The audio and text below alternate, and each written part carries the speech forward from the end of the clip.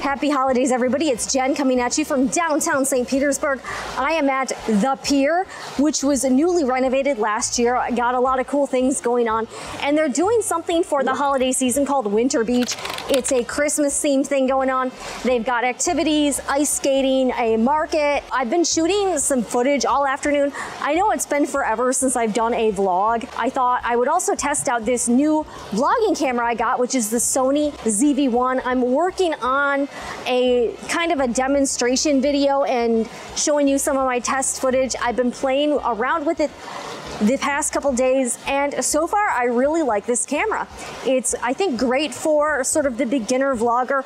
Also if you want a camera setup that's really portable and isn't super obnoxious, I think this is a pretty good setup. I'm using it with the Rode Wireless Go 2 system and I'm really excited because it's about to get dark here and I'm gonna be testing out the low light capabilities and also showing you some cool holiday lights here from Florida. I know you're jealous, but let's get started with this tour. The St. Pete Pier in downtown St. Petersburg, Florida reopened last year after a complete rebuild. Overlooking Tampa Bay, the pier offers waterfront recreation, dining, and entertainment. There is no charge to enter the pier district, and most events are free. But the two parking lots and on street meters have an additional cost. I remember the old pier and can say that the parking situation is now much better, because there used to be very limited parking options.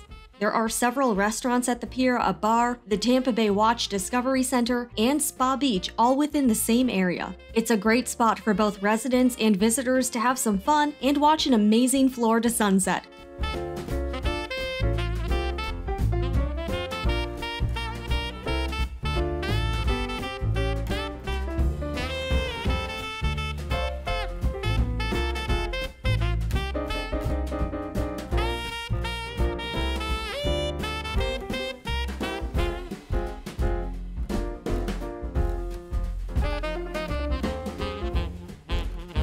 Celebrate the holiday season with Winter Beach, featuring a real ice skating rink, Santa sightings, free holiday concerts and activities, plus a holiday market with local vendors and food.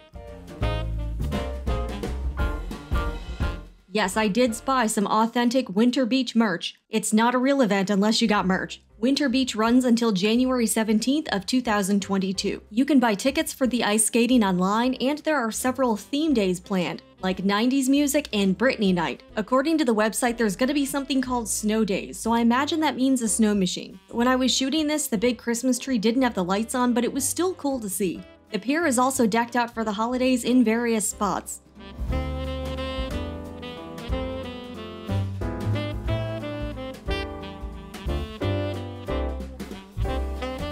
Later on in the evening, I ended up at Island Flavors and Tings, a home-style Jamaican restaurant and recommend the rum cake. They offered some yummy free samples, and I ended up getting a couple pieces to take home. While you're here, you can also venture into downtown St. Pete for a nightcap or an evening stroll.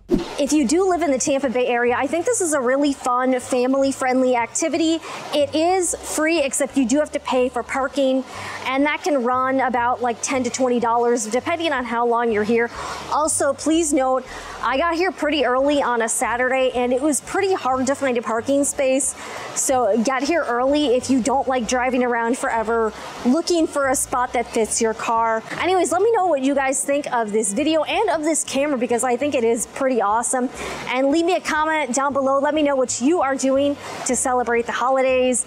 I know I'm just here hanging out and I'll see you guys again in the next video. Check out some of my other previous holiday videos. A few years ago, before COVID, I went to Enchant St. Petersburg and did a review on that event. I also did a video a few years ago where I tried out some Starbucks holiday drinks. I might do that again this year. Who knows? Because I really like this vlogging camera. I'll see you guys again in the next video. All right, bye.